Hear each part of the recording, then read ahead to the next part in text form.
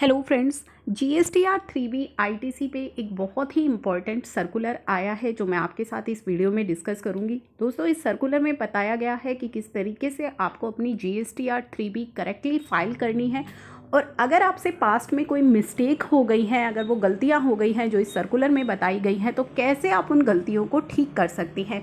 तो बहुत ही इंपॉर्टेंट है ये सर्कुलर क्योंकि अगर आप पास्ट में मिस्टेक कर चुके हो तो अब आपके पास क्या ऑप्शन है, वो भी आपको इस सर्कुलर से पता लगेगा। तो चलिए स्टार्ट करते हैं वीडियो को। उससे पहले चैनल को सब्सक्राइब कर लीजिए, ताकि सभी इंपॉर्टेंट अपडेट्स आपको मिलते रहें। तो दोस्तों, ये जो सर्कुलर है, ये आया है सिक्सटीन ऑफ़ जून को, जो कि state goods and service tax department government of Kerala की तरफ़ से है। लेकिन ये सर्कुलर आपके लिए भी इक्वली इंपॉर्टेंट है, क्योंकि G S T R three B जो है वो जी एस टी के अंदर सभी को फ़ाइल करनी मैंडेटरी होती है तो उसको करेक्टली फ़ाइल कैसे करना है और मिस्टेक हो गई हैं तो उनको ठीक कैसे करना है, ये जानना सभी के लिए बहुत ज़्यादा इंपॉर्टेंट है। तो सर्कुलर में जो इम्पोर्टेंट पॉइंट्स हैं, वही मैं आपको यहाँ पे बताऊँगी।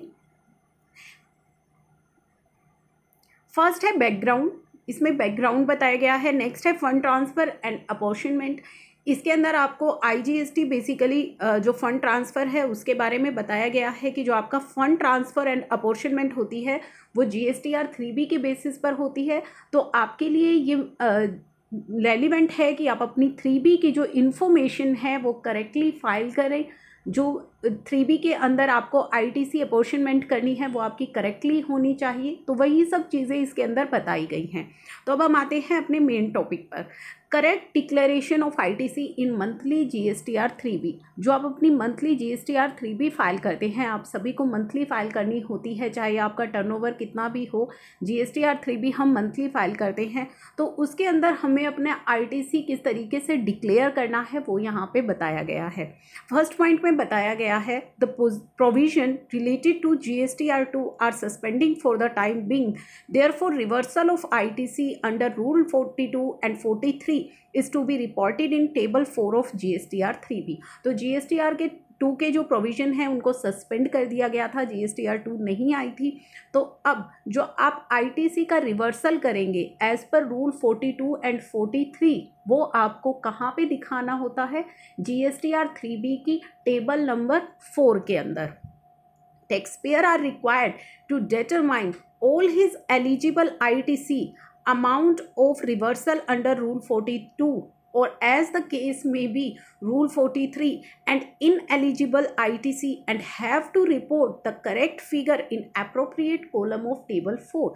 तो टैक्स पेयर्स को जो है क्या करना होता है अपना एलिजिबल आईटीसी डिटरमाइन करना होता है कि कितना एलिजिबल है, कितनी आपकी रिवर्सल है रूल 42 के अकॉर्डिंग रूल 43 के अकॉर्डिंग कितना आईटीसी इनएलिजिबल है और उसको करेक्ट फिगर्स को आपको अप्रोप्रिएट कॉलम्स में दिखाना होता है टेबल नंबर फोर के। जो टेबल नंबर फोर है आपकी G S T R three B की, उसके अप्रोप्रिएट कॉलम में आपको वो सभी आई टी सी दिखानी है। जो एलिजिबल है, जो रिवर्स किया है आपने रूल फोर्टी टू के अकॉर्डिंग रूल फोर्टी थ्री के अकॉर्डिंग और कितना आपका इनएलिजिबल आई टी सी है।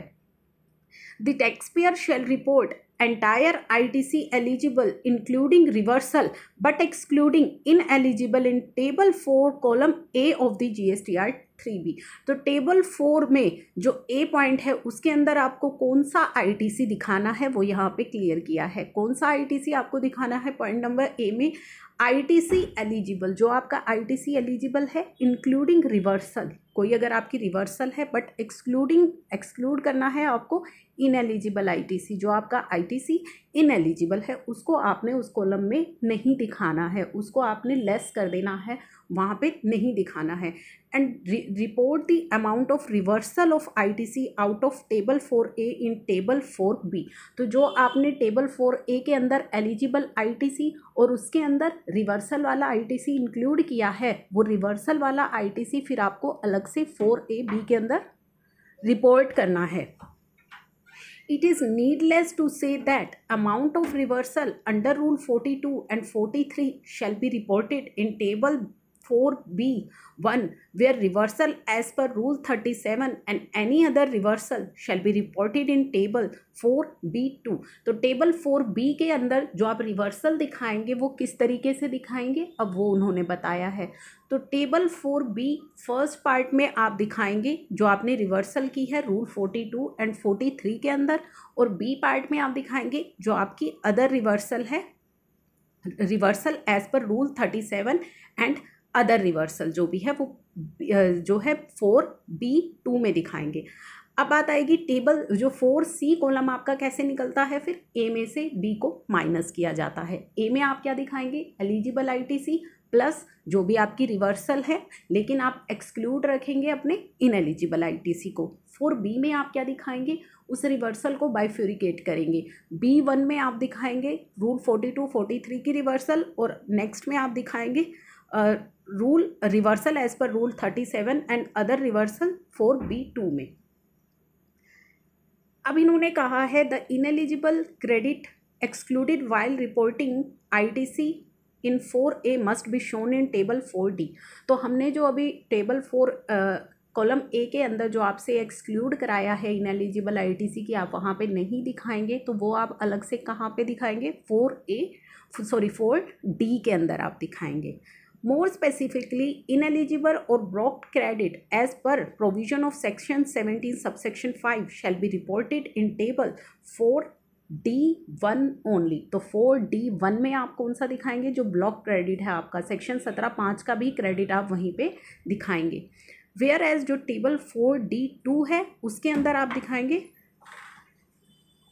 ineligible block credit as per section seventeen subsection four of C G S T S G S T act read with rule thirty eight तो सत्रह चार का जो इनएलिजिबल क्रेडिट है, वो सेक्शन वो आप टेबल फोर डी टू में दिखाएँगे।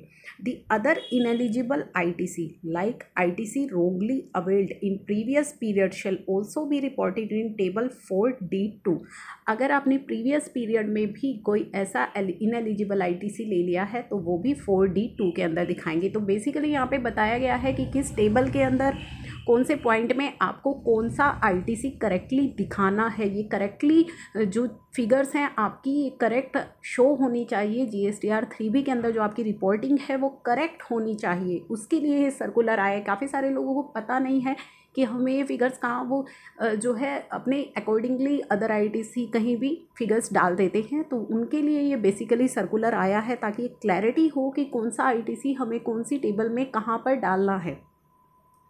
Instead, only net effect shown by taxpayer in the result would return in short settlement of ITC. Therefore, reversal of ITC and ineligible ITC has to reported by taxpayer while filing his return. तो ineligible ITC और report reversal of ITC जो है उसको accordingly show करना है अपनी three B के अंदर करेक्टली शो करना है आपको अब यहाँ पे आता है कि अगर आपने पहले रिटर्न फ़ाइल कर दी हैं, आपसे मिस्टेक्स हो गई हैं तो ऐसे केसेस में आपको क्या करना है? Correction in return filed earlier all such taxpayer who have not furnished details of ineligible ITC or furnished partial details of ineligible ITC or not reported reversal of ITC fully or partially are hereby required to correct the mistake in the following manner. तो अगर आपने report नहीं किया है या partial reporting की है correct reporting नहीं की है तो अब आपको क्या करना है वो यहाँ पे मैनर बताया गया है those taxpayer who have committed error of wrongly reporting or not reporting ineligible ITC as well as reversal of ITC in the return filed for the financial year 18-19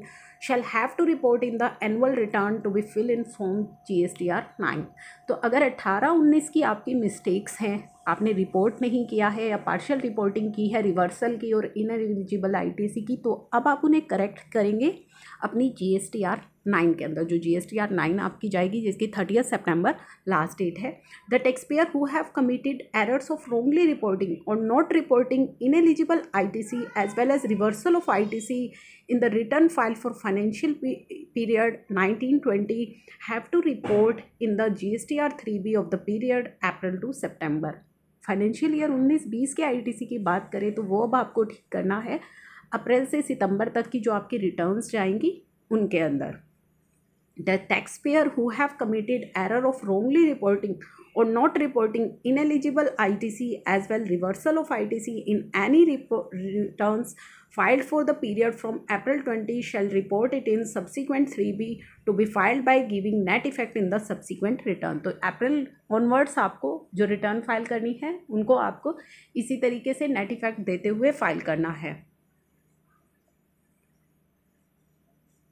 now जो आपकी अप्रैल ट्वेंटी ऑनवर्ड्स है, वो आपको subsequent returns में उनको ठीक कर लेना है। Such incorrect information of I T C in periodic return indicates impropriety in returns filed by taxpayer. It may result in selection of cases for scrutiny, which later on might result in imposition of penalty under cgst sgst act. तो ये जो आपकी incorrect information है, इसको correct करना बेहद ज़रूरी है और इस इनकरेक्ट इन्फॉर्मेशन को आगे आप फ़ाइल ना करें, ये भी आपके लिए बहुत ज़रूरी है, क्योंकि अगर आप ऐसा करते हैं तो आपको स्क्रूटनी के अंदर आपके केस को लाया जाएगा और आपके ऊपर पेनल्टी लग सकती है। दोनों ही सी एंड एस के अंदर hence all taxpayer are hereby instructed to follow the guidelines of circular and file the periodic return G S T R three भी करेक्टली तो आप सभी के लिए मैंडेटरी है कि आप ये गाइडलाइंस फॉलो करें और अपनी थ्री बी को करेक्टली फ़ाइल करें। The taxpayer also correct the figure reporting in return filed for earlier period if any in the manner prescribe तो आपने जो अर्लियर रिटर्न फ़ाइल कर चुके हैं, उनको भी आपको करेक्ट करना है। किस तरीके से करेक्ट करना है, वो भी इस सर्कुलर के अंदर बताया गया है। तो ये थे इंपॉर्टेंट गाइडलाइंस आप सभी के लिए। इन्हें शेयर करना मत भूलिएगा, बाकी लोगों के साथ भी, क्योंकि काफ़ी सारे लोगों जो है इस चीज़ से अवेयर नहीं है और इनकरेक्ट अपनी रिपोर्टिंग कर रहे हैं। Thank you for watching